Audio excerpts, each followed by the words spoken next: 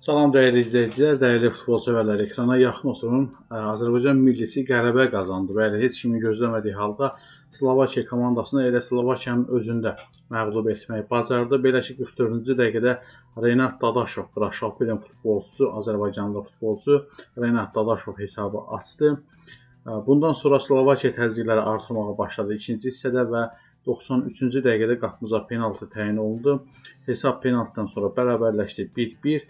Ancaq Azərbaycan dedi ki, mən yox demədiksə, ə, mən bitdi demədiksə bitməz və bundan 2 dəqiqə sonra Höccət ə, haqq verdi.